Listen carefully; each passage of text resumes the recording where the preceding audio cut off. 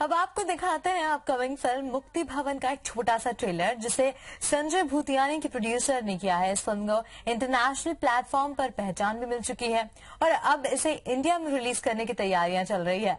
Film की कहानी वाराणसी के एक मुक्ति भवन के नियम कानून के इर्द गिर्द घूमती है। मेरा वक्त आ गया है और मैं मर, मरने के लिए तैयार हूँ मैं यहाँ नहीं मरना चाहता। मैं बनारस चला जाऊँ बाबा ऑफ़िस में थोड़ा काम करना क्या है? तुम मुझे टैक्सी में बिठा देना मैं अपने आप चला जाऊँगा। इतना समय है ना तुम्हारे पास? कितने दिन लगेंगे? तो सोच समझ के पूछा करो ना। कब करेंगे कब मरेंगे हाँ? मैं क्या वहाँ जाकर उनका गला घोट दूँ? तुम आओगे? बनारस या? नाम मुक्ति भवन है लेकिन हम मुक्ति प्राप्त होने तक कमरा नहीं देते।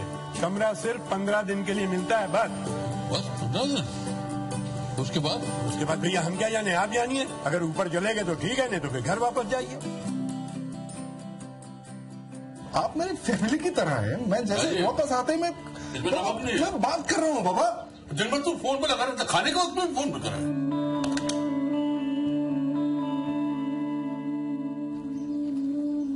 आप विमला जी प्रणाम करो वापस चलो ना। इनको छोड़ के। कितने दिन रहोगे यहाँ पे? अगर आपको दोबारा हमारे इस परिवार में जन्म लेने का मौका मिले भी नहीं। मैं चाहता हूँ तुम मुझे धूमधाम से विदा करना।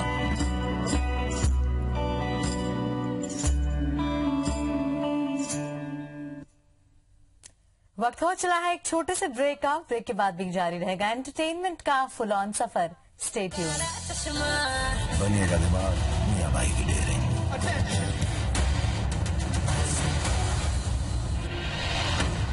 ऑब्जेक्शन योर ऑनर ये तो प्यार हो गया